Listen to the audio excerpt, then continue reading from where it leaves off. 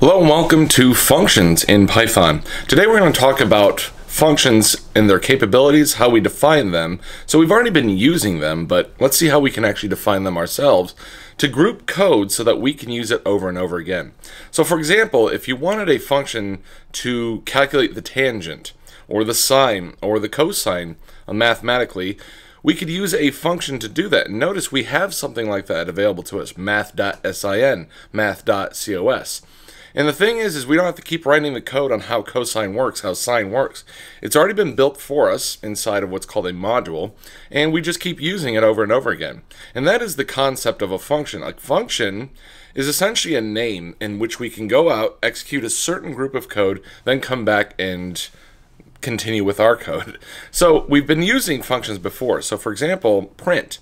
Print is a function, and the job of the function is to take your inputs, whatever you put inside those parentheses, and put it to the screen. Whatever you give me, I'll put to the screen.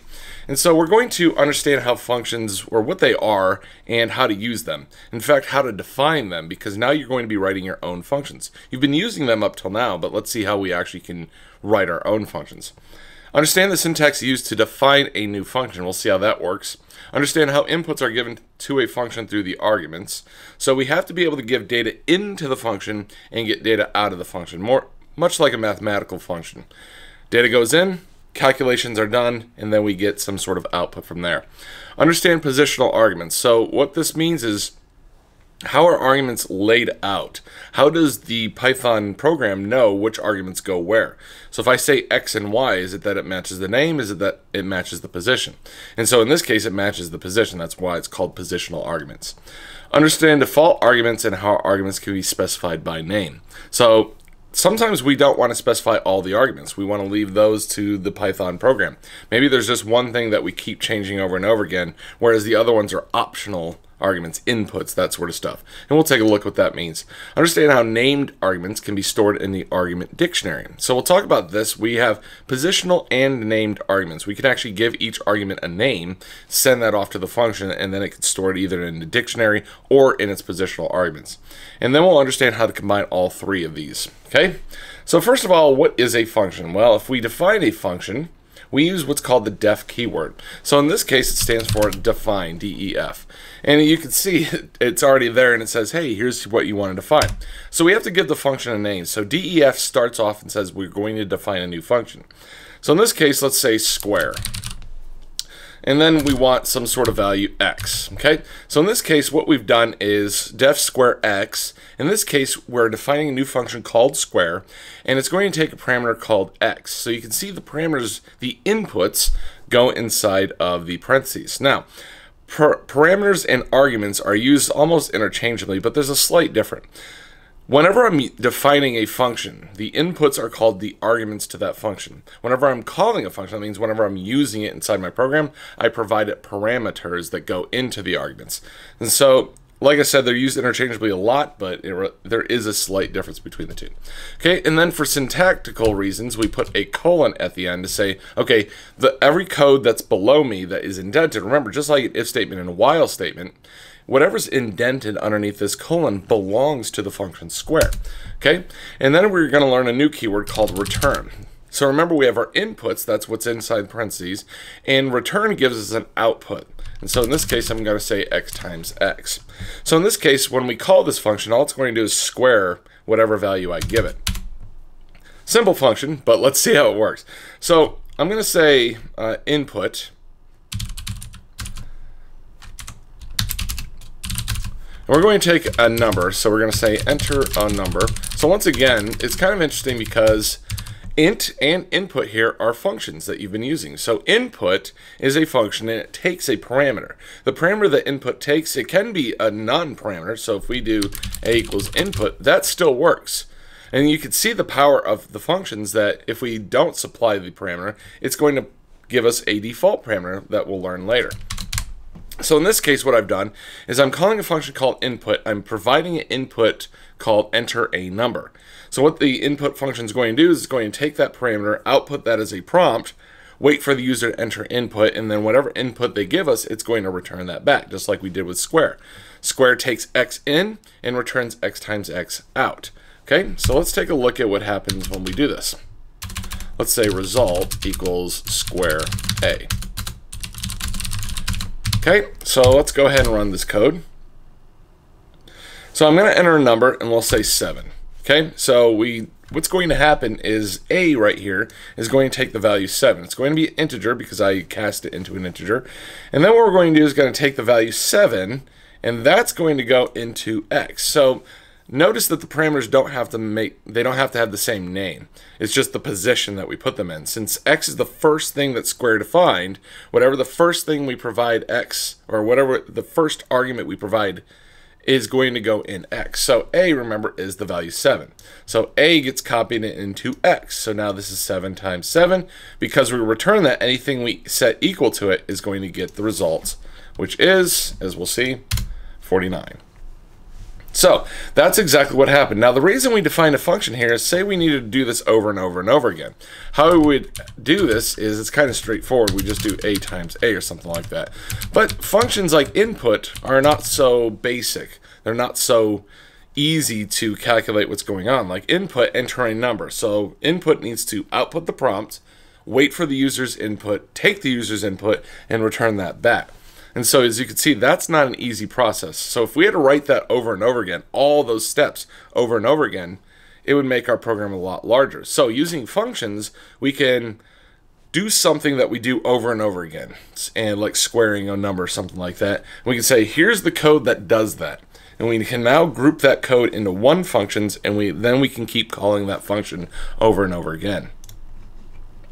So let's take a look at defining a function we already done. So, and then using a function. So functions don't have to take any inputs and they don't have to return anything. So let's go over here and take out the x. And we're just going to return 49, just a literal 49. And let's see what happens. Now I'm going to leave a in here inside the parameter list.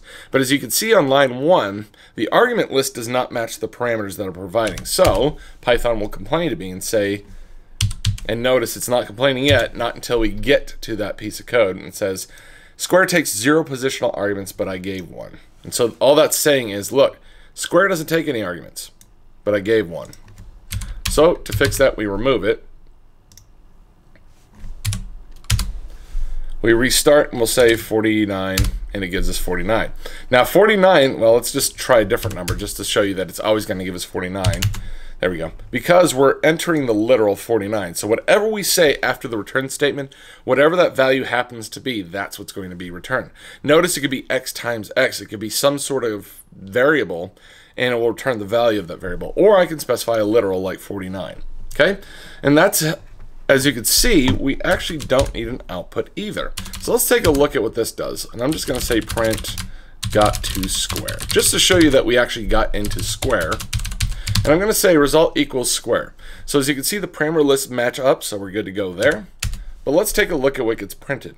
Okay, so notice none gets printed. Now the reason none gets printed is because in this case we have def square print got to square. Okay, in this case notice there is no return statement. And so we're saying there's no output coming from this function. And so what is happening here is it's telling us that nothing has gotten back to us. Okay, so when we when we set result equal to square, what it's saying is, hey, there's nothing, there's none, no output at all, that sort of stuff. And so we'll get none. Notice that it's not an error to set result equal to square. Even though square doesn't return anything, it's not an error to do so. We just get none. So let's talk about the advanced parameters. So number one, everything we've done up till now has been what's called a positional argument. The first argument always goes into the first parameter, or the first parameter always goes into the first argument. The second parameter always goes into the second argument, and so on and so forth. But sometimes that's not what we want to do. So for example, when we did print,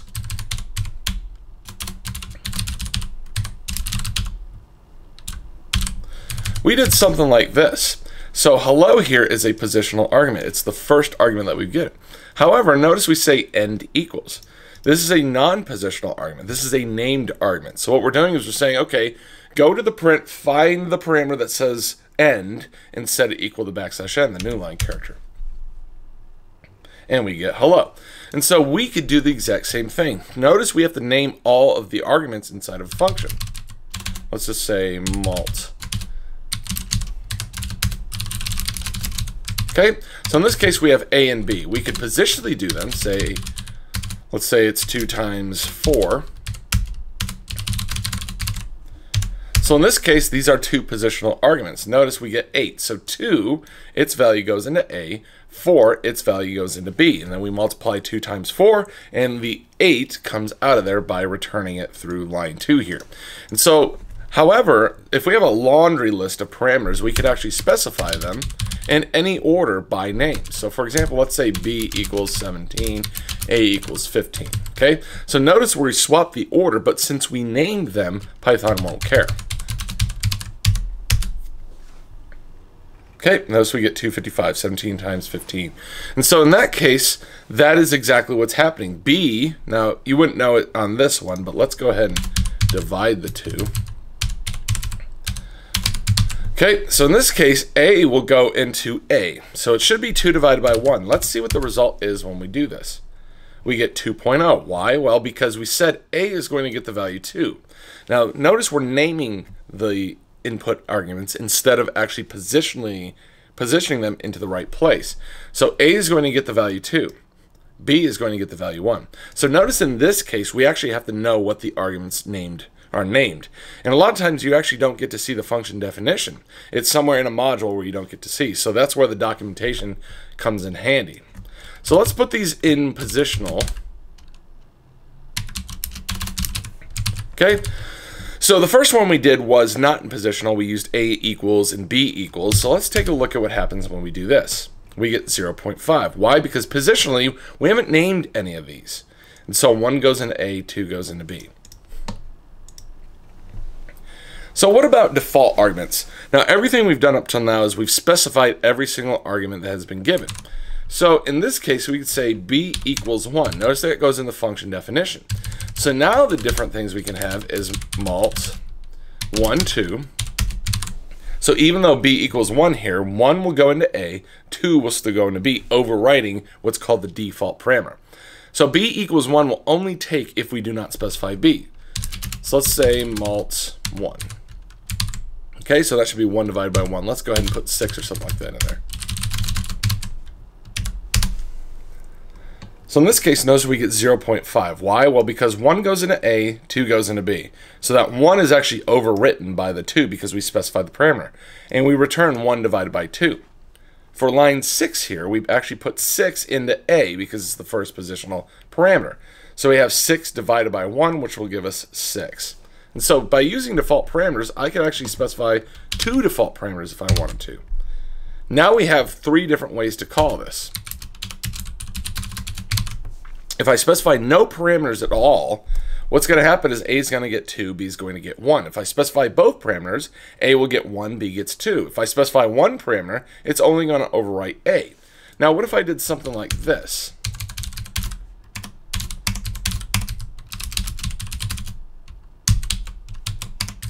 Okay, b equals 3. So let's say, take a look at what happens here.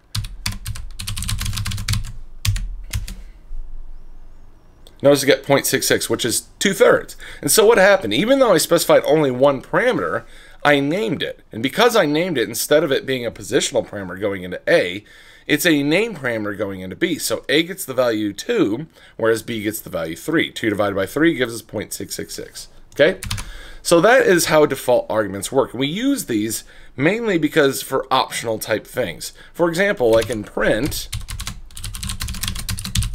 we could specify the end, but if we leave it off, the end still gets the backslash n. So the default parameter is to print a new line after print is done. Now if we want to change that behavior, we can. But if we leave it off, end is going to take the default parameter. And so that's essentially what you can do as well. So we just specified the parameters by name, so hopefully that makes sense in how we specify it by name. With print, we've been spec specifying it positionally and by name at the same time. So once again, let's take a look at argument lists. Sometimes we don't know how many parameters we're going to get. And so we have to look at some sort of list to see this is the number of parameters we have. This is what's going to happen when we do that. We could do this by using what's called a parameter list. A parameter list is specified by a star.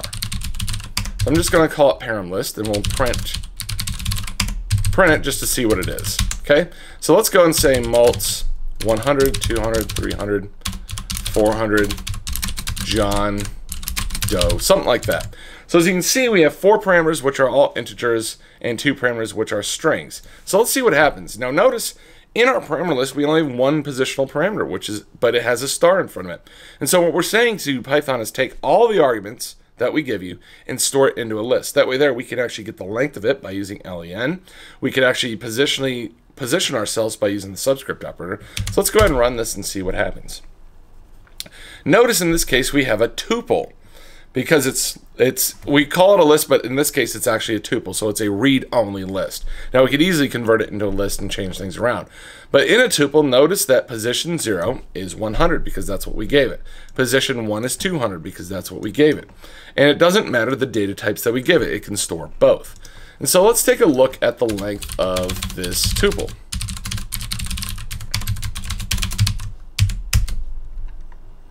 Okay, tells us we have six parameters. Let's call it again with two parameters. Let's call it again with no parameters. You'll see that all three function properly. The first one has six parameters, and it's going to be stored in the order that they were given, 100, 200, 300, 400, so on and so forth. Line 6 is going to be specified as 10 and 20, and then line 7 is going to have nothing. It's going to be an empty tuple. And so we could actually position any kind of parameters that we want, and it gets stored in the position that we want. Well, what if we had named parameters? So if we did something like mults a equals 10, if we ran this, notice it says I have no idea what this is because mult is a just a generic list of parameters. But what we could do is we could store these in what's called a dictionary. You've used dictionaries before. Remember, a dictionary stores a name and a value pair. And so what we're going to do is if we add another star, it will actually give us a parameter dictionary. So as you noticed, all the positional parameters went into a parameter tuple, parameter list, whereas any kind of name parameter goes into a parameter dictionary. So let's take a look at what this does now. And notice it says, hey, a, a, parameter called a was specified and it was given the value 10. And so that is an easy way in which we could treat any parameters. So if the user screws up and says EDN instead of END, it's still going to work. And but we can actually error check that inside of our function and tell the user exactly what's going on. So for example, if they didn't specify it,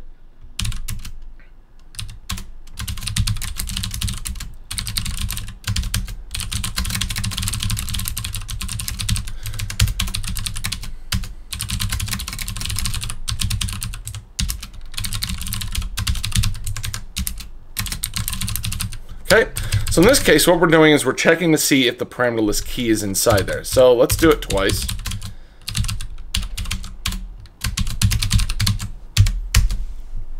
So when we run this, notice the first one says you did not specify end. Well, that's because we specified EDN.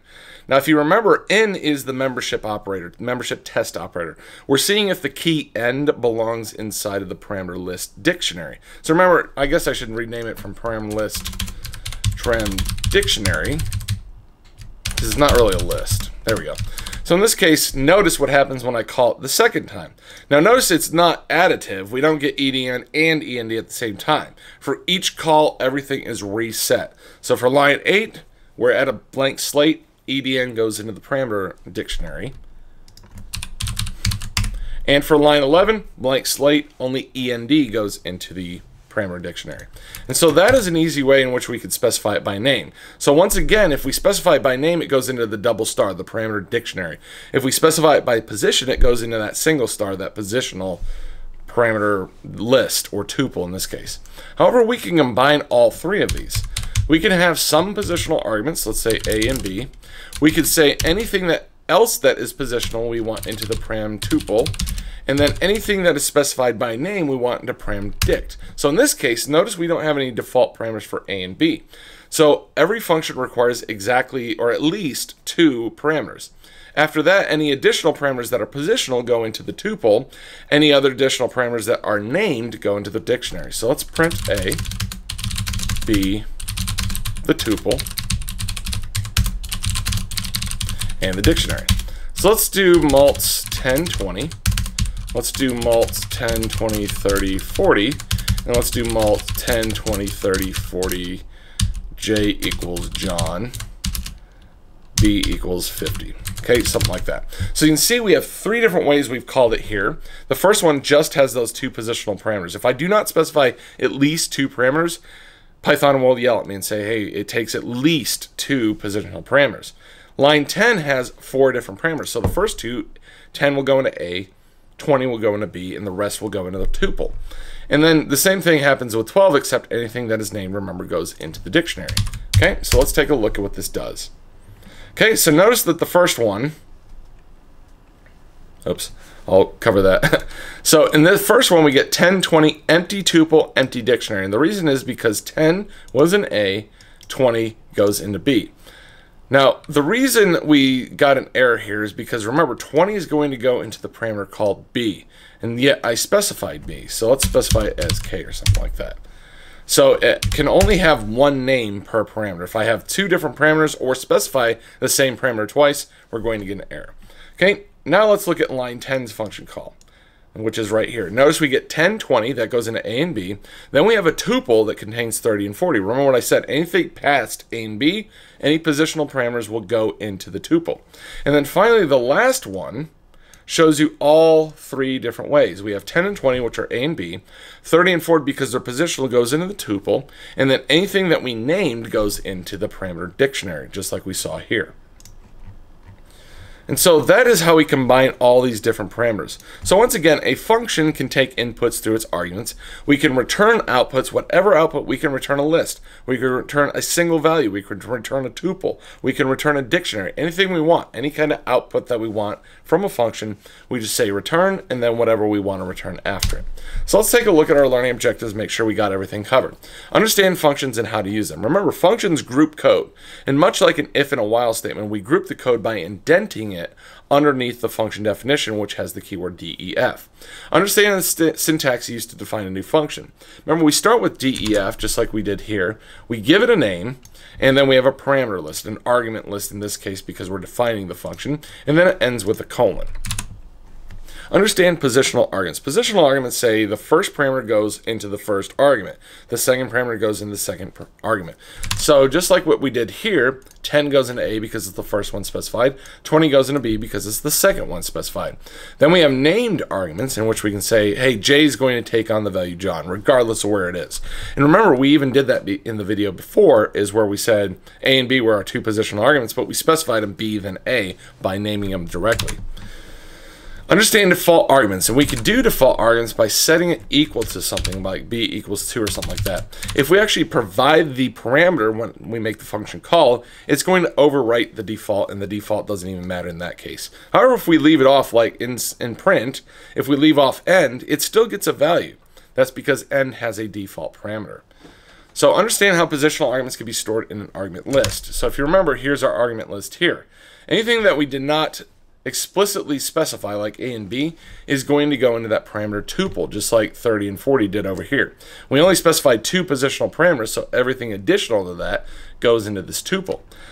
Everything named goes into the dictionary. And understand how to combine positional arguments, arguments list, and argument dictionaries. That's essentially what we've done here. So just to conclude here, functions are a great way to group code. We've been using them over and over and over again. It's just now that we're going to have to start building them. And the main reason is, is because you could build a certain, what we call a library. It's just a whole bunch of functions that somebody along the way can come over and start using your library. Because if you test your library and it works great, it makes these calculations quickly, it does exactly what it needs to do, I don't have to reinvent the wheel. Instead, I could use your functions and say, well, this person knew what they were doing. Let's use their function. I give you input, you give me output. And that is a great way to structure our program so that it's reusable portable so we can move it from one machine to another and it's it makes it a lot easier. I could rapidly develop if those functions are already defined for me. So for example, if you didn't have the math library, think of it, you'd have to write what sine does, you'd have to write what cosine does, that sort of stuff. Print, you'd have to write what that does. That would be a mess. And so since somebody already wrote it for us, we can just take their code because it's a function and use it as we see fit. And now you know functions. Thanks for watching.